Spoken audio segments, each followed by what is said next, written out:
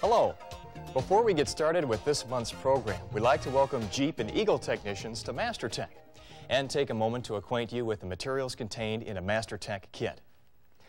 All of you should be familiar with the reference book. It highlights the information in the videotape and includes photos and illustrations. The quiz on the last page must be completed with a score of 70% or better for Gold Tool Award eligibility. Also included in each release is a Tech News, which contains information on new Chrysler products and programs. The open-end section allows you to submit service and diagnostic questions. Open-end answers are provided by service engineers and are printed in later editions of the Tech News. Another item included in each package is a meeting guide, which gives tips on running the Master Tech meetings as well as supplying answers to the quiz in the reference book. The last item is available exclusively in this month's MasterTech kit. This handy DRB2 scan tool booklet lists DRB2 fuel, ignition, charging system, and speed control displays and their meanings. For more information about these materials and the Gold Tool Award Program, check out the brochure included in this month's kit. Now, let's start this month's program.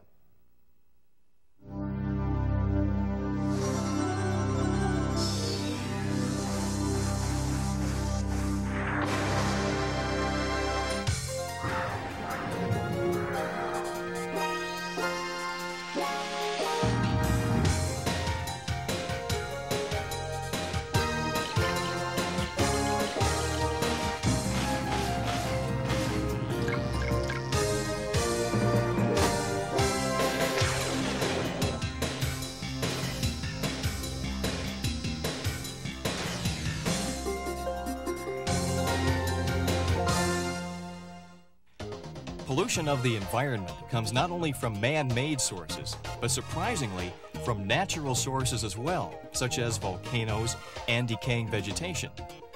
Much as we might like to, we cannot stop a volcano from erupting. However, there is quite a bit we have done and continue to do about man-made pollutants, such as those that come in the form of auto emissions. Hello, welcome to this month's MasterTech. In this program, we'll discuss auto emission systems, specifically the various auto emissions, how they're caused and reduced. We'll also discuss the 1990 Clean Air Act amendments and the SAE J1930 document and how both will affect you. In addition, we'll talk about the growing use of exhaust gas recirculation and cover a sample diagnosis of an EGR problem. This program will also contain something new to MasterTech, a review question at the end of each section. Well, let's get started with a look at auto emissions.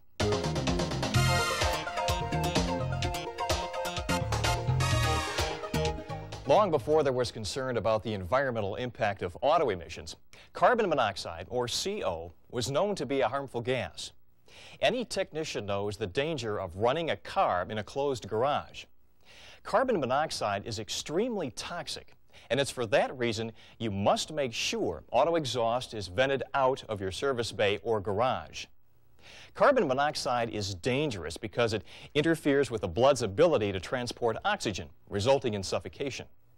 Carbon monoxide results from partially burned fuel, so a rich air-fuel mixture will produce significantly more CO. However, the optimum mixture of 14.7 to 1 will cause low CO. At this point, you may think a very lean air-fuel mixture is the key to lower emissions, but you'd be wrong. Why? Because an overly lean air-fuel mixture will cause a lean misfire, which will increase another emission called hydrocarbons. Hydrocarbons, or HC, are caused by incomplete combustion. Besides being caused by incomplete combustion, HC emissions can also be caused by fuel evaporation and crankcase vapors. All petroleum products are made of hydrocarbons, and when they're not completely burned, they can escape out the exhaust or fuel system into the atmosphere. When in the atmosphere and in the presence of sunlight, HC combines with oxides of nitrogen to produce smog and ozone. We all know that smog is harmful. It can even irritate lungs. But what about ozone? You no doubt know that Chrysler Corporation is now using R134A air conditioning refrigerant in more and more vehicles to protect the ozone layer. So why is more ozone bad? Unfortunately, ozone in the stratosphere is different from ozone in the air that we breathe. In the stratosphere, ozone shields the Earth from harmful ultraviolet rays. Down here, though, ozone can irritate the lungs and damage plants. It can even damage rubber products. A rich air-fuel mixture can increase HC emissions as well as CO emissions. As a result, leaning out the air-fuel mixture to the optimum ratio reduces HC and CO by letting the catalytic converter operate efficiently. Computer-controlled engine management makes it possible to maintain an ideal air-fuel ratio.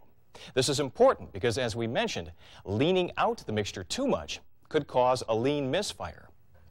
Do you remember which emission level this would raise? A lean misfire will raise HC emissions. Computer-controlled engine management is but one system that can help bring both HC and CO emissions under control. The positive crankcase ventilation, or PCV system, is another. Engine blow-by gases that get past the piston rings and make their way into the crankcase also contain HC and CO. The PCV system uses engine vacuum to draw these gases into the intake manifold for reburning. With the engine running, air is drawn from the air cleaner into the engine crankcase. This pulls the blow-by gases that have mixed with this fresh air up past the PCV valve and into the intake manifold. From here, the gases can be burned in the combustion chamber. The PCV valve controls the flow of crankcase air depending on engine conditions. For instance, at idle, the PCV valve restricts the flow. But under high loads, such as during acceleration, the lower intake manifold vacuum causes the spring to open the valve more so a greater amount of crankcase air can flow through it. One method of further reducing the remaining HC and CO emissions after combustion is to use a catalytic converter. A catalyst is a substance that speeds up a chemical reaction without itself being changed. In the case of a catalytic converter, the substances are usually platinum and palladium for reducing HC and CO, and rhodium for reducing oxides of nitrogen, which we'll discuss later. The catalytic converter heats up to approximately 1400 degrees Fahrenheit. At this extreme heat, when the CO and HC pass over the catalytic substances, they're converted into harmless carbon dioxide and water. Related to the catalytic converter's operation is the air injection system used on the 1993 5.9-liter heavy-duty cycle truck engine. This system uses two air pumps to inject fresh air into the exhaust gases at the catalytic converters. This helps burn the HC and CO gases that escaped combustion. The one system that reduces HC emissions but has nothing to do with CO is the evaporation control, or EVAP system. This system stores HC gases in the EVAP canister, also called the charcoal canister. The gases are caused by evaporating fuel from the fuel tank. These vapors are then purged by using engine vacuum to draw air through the canister, carrying the vapors into the intake manifold for burning. If HC and CO were the only two emissions that we had to worry about, they would be taken care of by the systems we just mentioned. Unfortunately, the high combustion temperatures caused by the lean fuel mixtures and high compression ratios that improve fuel economy and reduce CO and HC end up producing more oxides of nitrogen. These combustion chamber temperatures are usually around 2500 degrees Fahrenheit. Remember earlier we said that oxides of nitrogen, or NOx, produce smog when combined with HC. NOx can also contribute to acid rain. Since the obvious solutions to reducing NOx, such as richening the fuel mixture, would increase HC and CO emissions, other solutions must be found.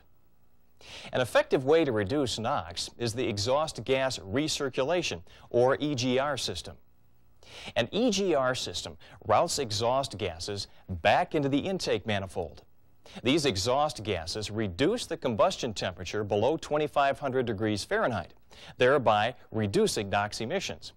We'll talk more about the system later.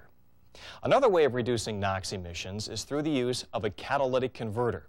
Previously, two-way catalytic converters reduced only HC and CO, but three-way converters can reduce NOx as well.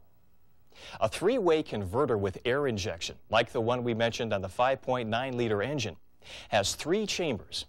The first chamber contains platinum, palladium, and rhodium and reduces levels of all three emissions. The second chamber is where the air is injected, so it can flow into the rear chamber. In this rear chamber, air reacts with exhaust gases in the presence of more palladium and platinum to further reduce the HC and CO levels. The last form of auto emissions is perhaps more overlooked than the previous three, unless you happen to be behind a semi that's accelerating under load. Of course, I'm referring to the sooty emission known as particulates. Particulates are particles of carbon soot and fuel additives that come almost exclusively from diesel-powered vehicles. These various forms of auto emissions that we've just discussed have been dramatically reduced from even just a few years ago, and they will be reduced even further. That's what we'll discuss after our first review question. Carbon monoxide is caused by which? Incomplete combustion or high combustion temperature? The answer is incomplete combustion. High combustion temperatures, as you'll recall, cause oxides of nitrogen, not carbon monoxide.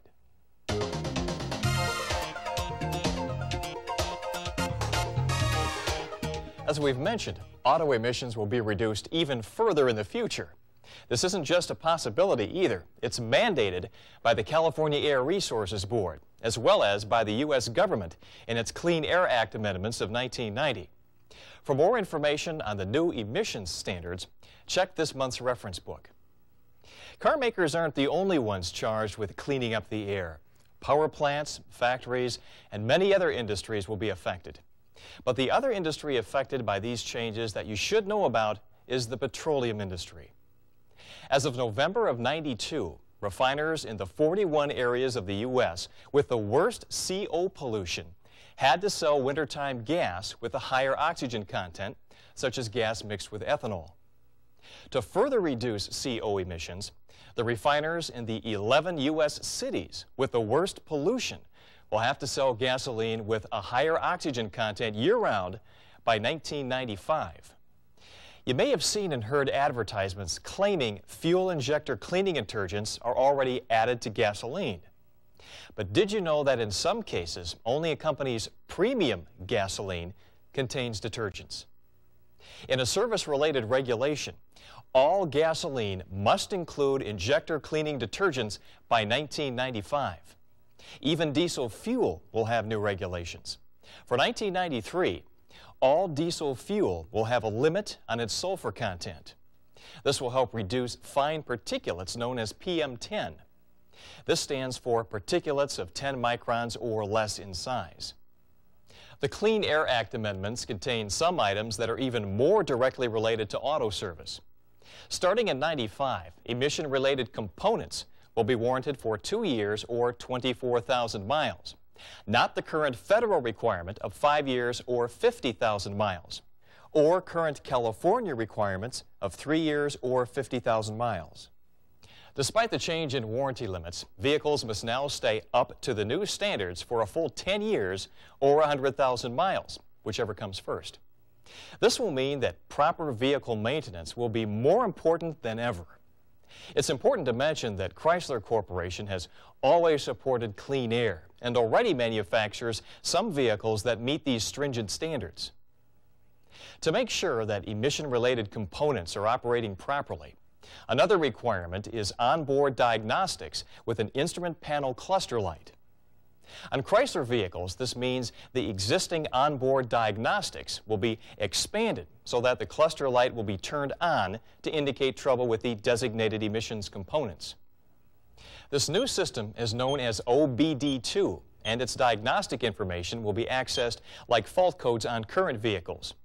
The format will be very similar to what is now seen when using the DRB2 scan tool, or the MDS, but there will be a little more information.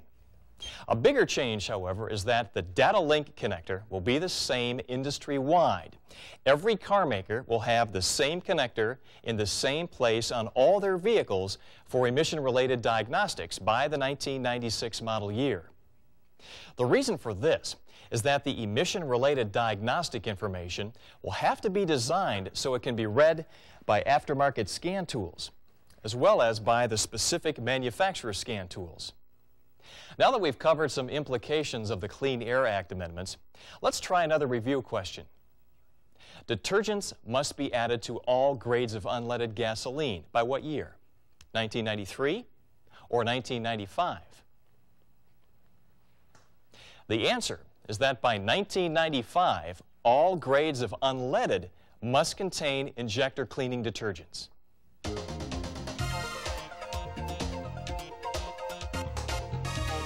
Yeah, so then I replaced the AIS motor and it ran great. No, I don't mean stepper motor. It's called an AIS. Yeah, sure, I'll look it up. I got the service manual right here. Hmm. Service manual calls it an IAC motor. I guess we're both wrong. You know, I don't know why they can't call it the same thing. If you've also wondered this, then you're in luck. Because of the SAE J1930 document, many terms will now be standardized. You've heard us mention this document in the past. Now we'll tell you how all this relates to vehicle emissions. First off, what is it? Well, to answer that, we'll take a look at some of its history. The California Air Resources Board required that for the 1993 model year, all car makers must use the same terminology when referring to emission-related components. The board decided that the 1992 version of the SAE J1930 document would be the standard that car makers would follow. SAE stands for the Society of Automotive Engineers, the group who wrote this document. Since car makers don't want different service publications for just California, these changes will affect all of North America. The SAE J1930 document attempts to standardize automotive terminology. But it's more than just a glossary of accepted terms. The document also tells how new terms are to be created. Let's use the term instrumentation engine coolant temperature sensor as an example of how items are named. The document recommends using a base word and then adding modifiers in front of it to distinguish it. The modifiers precede the base word in order of importance, with the most important closest to the base word. In this case, the sensor senses temperature. The temperature that it senses is the coolant temperature. Its location is in the engine, and its purpose is instrumentation. No doubt you've noticed us using terms in the MasterTech programs that are different than you've been used to.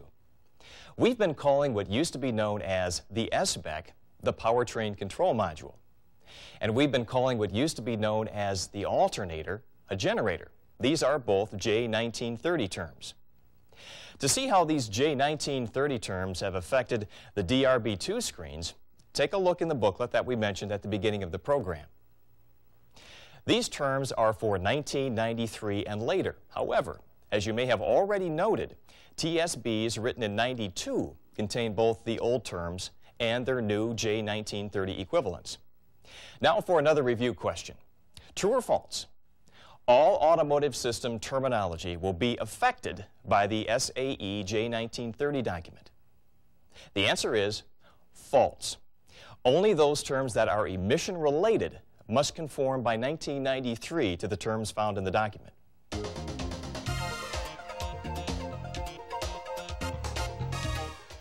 Earlier in the program, we said that exhaust gas recirculation systems can help reduce emissions. Do you remember which emission it reduces? It reduces NOx. It's for this reason that EGR systems have been added to more vehicles for 93. Specifically, EGR has been added to the federal 3-liter equipped vehicles with front-wheel drive and 3.3-liter equipped Caravan Voyager, Dynasty New Yorker, and Fifth Avenue Imperial models. Chrysler uses a system that contains an EGR tube to route the gases from the exhaust manifold to the intake manifold. and an EGR solenoid and transducer to control vacuum to the EGR valve. The transducer and solenoid are combined in one unit. The PCM controls the solenoid, which in turn controls the vacuum supply to the transducer. The PCM uses input from various sensors, such as the coolant temperature sensor, to decide whether the solenoid should be open or closed. For instance, if the coolant is at a low temperature, the PCM will not open the solenoid because the engine is not emitting high amounts of NOx. When the solenoid allows vacuum to reach the transducer, the transducer must close a bleed valve based on exhaust back pressure before vacuum can reach the EGR valve. When vacuum is applied to the EGR valve, its diaphragm pulls the valve open, allowing exhaust gases into the intake manifold. These explanations show you how an EGR system works, but not why it reduces NOx. Well, the addition of exhaust gases takes up room that would have held hotter burning air. Less oxygen equals cooler combustion. It's just like turning off the oxygen on an oxyacetylene torch. The flame burns cooler. In the combustion chamber, the lower the temperature, the lower the NOx emissions. Another benefit that may be caused by EGR is an unexpected one, increased fuel economy. Since exhaust is an inert gas, meaning in this case that it takes up space but doesn't burn, it has the effect of making the combustion chamber smaller, as if it were in a smaller displacement engine. This shows that emission system components are not necessarily the economy robbing devices that many still believe them to be. Disconnecting them will no longer improve economy, but will more than likely reduce it. Let's now take a look at an EGR diagnosis. Since trouble with the EGR system will more than likely appear as a drivability problem, let's look at a sample problem where this happened. A customer came into the dealership complaining of a vehicle that ran rough or stalled when it came to a stop. When the technician received this work order, all he knew was that it was a drivability problem. To confirm the trouble, the technician took the car out on a test drive. In this case, taking the car out on a test drive to verify the problem was the first step of the six-step troubleshooting procedure. Don't forget to use this procedure when diagnosing any automotive systems. While on the test drive to verify the complaint, the technician also tried to find any other symptoms that could be related to the trouble. This is the second step of the procedure. After returning from the test drive, the technician now had information on the problem so that he could move on to the third step of the procedure, analyzing the symptoms. Since the drivability problems could have been just about anything, what manual should the technician use to diagnose the problem? He went to the step-by-step -step instructions of the Powertrain Diagnostic Manual to isolate the trouble, which is step four of the troubleshooting procedure. The first step in the manual is to make sure that the battery is fully charged. It was, so he moved on to the next step, which is to start the car and read any faults with the DRB2 scan tool or with the MDS. In this case, however, there were no faults to read. If this vehicle had been equipped with the onboard diagnostics required for California emissions, then this EGR problem would have shown up as a fault. But since it didn't, our technician followed the procedures in the manual and went to the section for no-fault drivability tests. The first step in this section is to check all TSBs and hotline newsletters that relate to this drivability problem. A quick check proved there were none, so he moved on down to the no-fault quick symptom test to compare the car's symptoms to those in the book. Under the symptom column, there are some symptoms that are close to what the car displayed. Next to the symptoms, the book says to do the no-fault complete test. Under this test, the first individual test is to check secondary ignition and timing. These two items tested out okay. So the technician moved on to check the fuel pressure. As with the last test, he found this to be okay. The next tests are for the coolant sensor calibration radiator fan operation, and the throttle position and map sensor calibrations. All these tests came out all right. The manual instructs next to test oxygen sensor switching, idle air control motor and solenoid operations, as well as the park neutral switch. Once again, they were all okay. With over half the tests now eliminated, the technician checked the PCM grounds and power circuit. These were fine also. This brought him to the EGR system test. Following the manual procedures, he disconnected the vacuum supply line from the EGR solenoid and connected a vacuum gauge to it. The engine was then started and the vacuum gauge checked to see if it read above 10 inches at idle. It did. What does it mean? Vacuum was getting to the solenoid. Our technician then disconnected the gauge and reconnected the vacuum hose. He next disconnected the solenoid electrical connector. Disconnecting this connector is a step in the 1993-94 Powertrain Diagnostic Manual for the Concorde, Intrepid, and Vision models. Please note that this step was not included in the 93 edition because of a late design change. The 93-94 manual will be in dealerships by late summer of 93. Following the instructions in the book, the technician then disconnected the vacuum hose at the EGR valve and connected the vacuum gauge to it. While watching the gauge, he snapped the throttle wide open. The gauge was supposed to read over 5 inches if vacuum was getting through the transducer assembly. It did, so this assembly is okay. What should the next test check? The next test checks the EGR valve assembly itself. To perform this procedure, the technician disconnected the hose leading to the EGR valve back pressure signal tube. The ignition must be turned off at this point. He then applied 20 psi to this hose that leads to the base of the EGR valve. While doing this, the throttle valve had to be opened and closed. According to the manual, this should cause a tone change in the flowing air. Sure enough, there was a change in the tone. This may not be as obvious, but try to guess what this tone change means. It means a leaking EGR valve was the problem. Naturally, the manual recommends replacing the EGR valve, which would be step five of the troubleshooting procedure, repairing the trouble. Replacing the valve is a simple procedure, but make sure that you use new gaskets to prevent any other leakage. Also, keep in mind that each EGR valve and transducer are not only vehicle specific, but depend on the engine and transmission as well. After all this work, you don't want to forget to go to the verification test at the end of the book. This would be the final step of the troubleshooting procedure, verifying proper operation. These verification procedures make sure that everything is operating fine and include such things as taking the vehicle on a road test and checking for any faults. Now let's take a look at the last review question. When applying 20 psi to the EGR valve while moving the throttle valve, a tone change occurs if which is faulty, the transducer assembly or the EGR valve? The answer is the EGR valve. The tone change indicated the EGR valve was leaking. Well, that just about does it for this month's Master Tech. We've discussed how the major auto emissions are produced and how they're controlled, as well as informing you on the auto-related issues contained in the Clean Air Act amendments.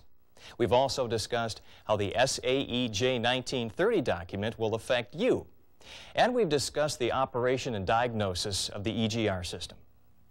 As always, remember that service procedures and federal and state regulations change for different vehicles and model years, so always check your service publications for the proper procedures. For more information on drivability diagnosis, why not attend a class at your nearest Chrysler Corporation Training Center? Remember, better trained technicians mean increased satisfaction for your customers and better business for us all. See you next month on Master Tech.